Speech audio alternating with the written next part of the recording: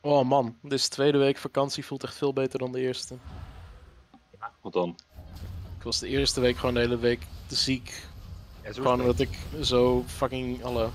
Ik het oh zo fucking, fucking druk had gehad met werk dat